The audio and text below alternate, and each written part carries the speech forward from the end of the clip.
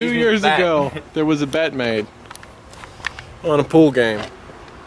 The bet was the losing team would have to stun gun themselves in the leg. Guess who lost? Who lost? Oh, who lost? Who lost the bet? Nine volts are expensive, dude. Yeah. I don't want to waste a nine volt and a taser. Have you ever been tased? Uh-uh. so nervous. I don't want Hey, ready? Yeah, god! yes, you did! Didn't even go. Fuck, yeah, I did. I'll show you. Oh! yeah, I told you!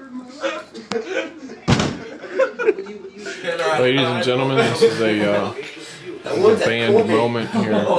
We're kicking in the window, Lots of band on band love going on right now. mainly from this Fruit Nation. As you can see, Mr. Bozeman here is eating honey. hot or love?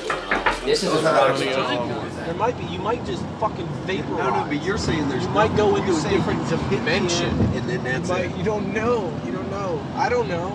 Call fucking Stephen Okay, so you don't know. Let's That's ask you're Stephen. Hawking. You No, don't I don't know. Okay, No. so you don't know. But I'm telling you that if the universe you can't is tell me if you don't expanding- know.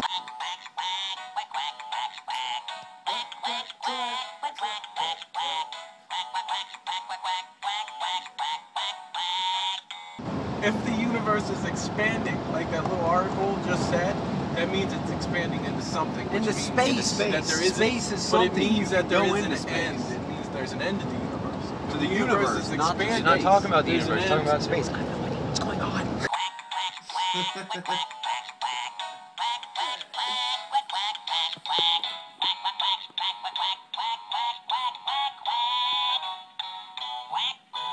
an end of the but you said it just stopped. I'm saying that you don't know. I just stopped.